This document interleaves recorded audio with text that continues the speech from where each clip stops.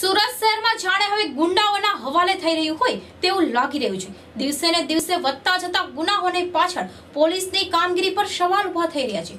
પોલીસનું નામ આવતા જ્યારે ગુનેગારોના પરસેવા છૂટી જવા જોઈએ તેને બદલે ગુનેગારો બેફામ પોતાની મનવામી કરી રહ્યા છે.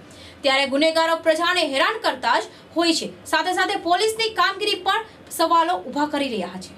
સુરતના ડિંડોલી વિસ્તારનો એક વીડિયો હાલ ખૂબ જ ચર્ચામાં આવી રહ્યું હોય છે. તે વિડીયોમાં તમે સ્પષ્ટપણે જોઈ રહી શકો છો કે કેવી રીતે એક ઈસમને પોલીસ કર્મીને રોક્યો તો તેને તેની સામે જ પોતાની પાસે રહેલા ચપ્પુ જેવું ધારદાર હથિયાર હાથમાં લઈ એક ટીઆરબી જવાનની સામે આવી ગયું. આ સમગ્ર મામલો જોતાં જ ત્યાં સ્થળ પર હાજર રહેલા અન્ય ટીઆરબી જવાન અને પોલીસ કર્મીઓ દોડી આવ્યા હતા અને તેને રોકવા માટે તેની પાછળ દોડ્યા હતા, પરંતુ તે ઈસમ તેની સાથે આવેલા અન્ય ઈસમની મોપેડ ગાડી પર બેસી ભાગી છૂટ્યો હતો.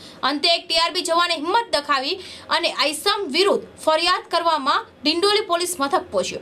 આપને જણાવી દઈએ કે હાથમાં ચપ્પુ લઈને ફરતો આઈસમ બીજો કોઈ નથી, પરંતુ બંટી છે. આ બંટી વિરુદ્ધ અગાઉ પણ ફરિયાદમાં આરોપી છે. અને હાલ જે તે પેરોલ પર છૂટીને આવ્યો હતો, પેરોલની મુદત પૂરી થઈ જવા બાદ બી આ બંટી હાજર થયો ન હતો. અને પેરોલ જમ્પ કરી ફરાર હતો. જ્યારે પેરોલ જમ્પ કરી ફરાર, આરોપી માટે ઘણા કાયદાઓ છે, છતાં આરોપીને પોલીસ પકડી નથી પાડતી. અને આરોપીને ખુલ્લે આમ જાહેરમાં ચપ્પુ લઈ બિંદાસ ફરી રહ્યો છે. ત્યારે પોલીસ પ્રશાસન સામે પણ ઘણા સવાલો ઉઠી રહ્યા છે. Bureau report, Azad news Surat.